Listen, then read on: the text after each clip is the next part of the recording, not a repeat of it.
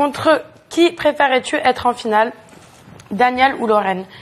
Euh, Très sincèrement, j'aimerais être en finale avec Daniel pour le côté artistique parce que euh, c'est la personne euh, qui me plaît le plus artistiquement parlant.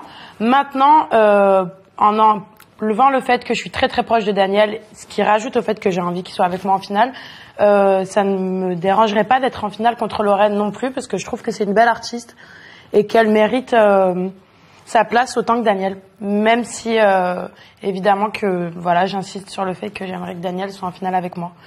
Mais si ça ne devait pas être le cas, euh, ce serait tout autant mérité.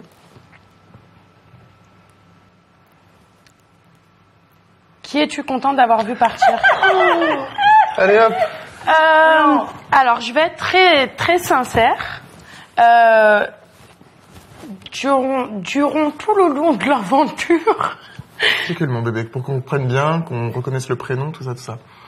non, euh, bah moi, je me suis bien entendue avec tout le monde euh, au château. Par contre, pour les premières personnes euh, euh, des premières semaines avec qui j'ai pas eu le temps euh, de tisser euh, beaucoup de liens, euh, bon, j'étais pas contente. On ne peut pas être content de voir partir quelqu'un. Euh, après, voilà, il y avait des affinités plus fortes que d'autres, mais euh, mais j'ai pas été ravie de voir partir quelqu'un, honnêtement. Qu'est-ce que Daniel a de plus que Lorraine?